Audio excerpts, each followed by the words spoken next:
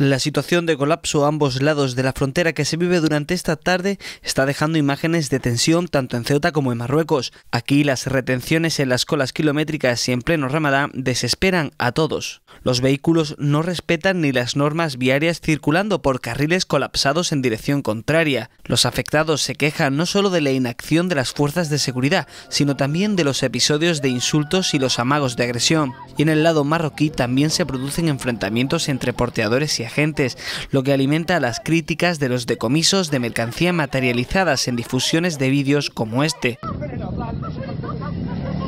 en los que se muestran estas situaciones con mujeres.